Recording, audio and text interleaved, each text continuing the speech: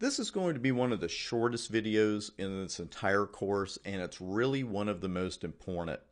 Because if you look at anything as a whole, it can be overwhelming and it can be intimidating. And I mentioned on the board, you know, BGP anyone, but you don't have to have taken your CCNP route and T-shoot exams to have run into this. You probably ran into it when you first started studying networking and you're just looking at it as a whole and you've got this, you know, thick book you got at the, you know, got off Amazon or got at the store and you're just like, wow, you know, I got to learn all this stuff. But once you break it down into smaller pieces, you know, man, you know, learn layer one first, then you learn switching at layer two and all those features, and then go on from there. You've got an organized plan, and your chances of success, you know, grow exponentially. I mean, much better than if you just, you know, started working with the book and not really mastering one section before you move to another.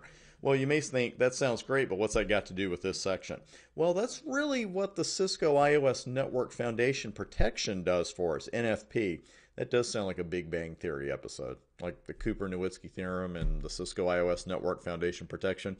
Well, what this does, it helps us to have an organized plan when it comes to protecting our networks because we're not just saying, okay, I'm going to get SSH set up and then I'm going to go over here and I'm going to authenticate, uh, set up authentication with OSPF and then I'll do this and then I'll do this and you're going back and forth. Because with NFP, what you're essentially doing is breaking the network down into three parts.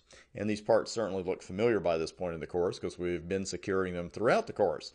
We've got the management plane, the control plane, and the data plane. And the quotes there are from a Cisco PDF that I'll actually put up on Udemy. It's from June 2005. Uh, it's still relevant, believe me. It's good stuff to read for the exam. And with the management plane, of course, we're talking about the ability to manage, but what exactly does that mean? Well, these are the protocols that we use to connect to routers and switches and authenticate and manage them and the related traffic that goes along with those management protocols.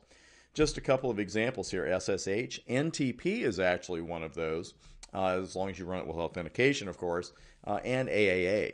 With control plane, that's our ability to route. And of course, what's that going to be? Our routing protocols and related traffic. And the data plane, that's the ability to forward data. It's just our good old data that we're forwarding around the network. Like I said, I'm going to uh, upload the PDF. There's not much more to NFP than what you're seeing on the board, but they've got some examples in there as well that I'd like you to see before you take the exam.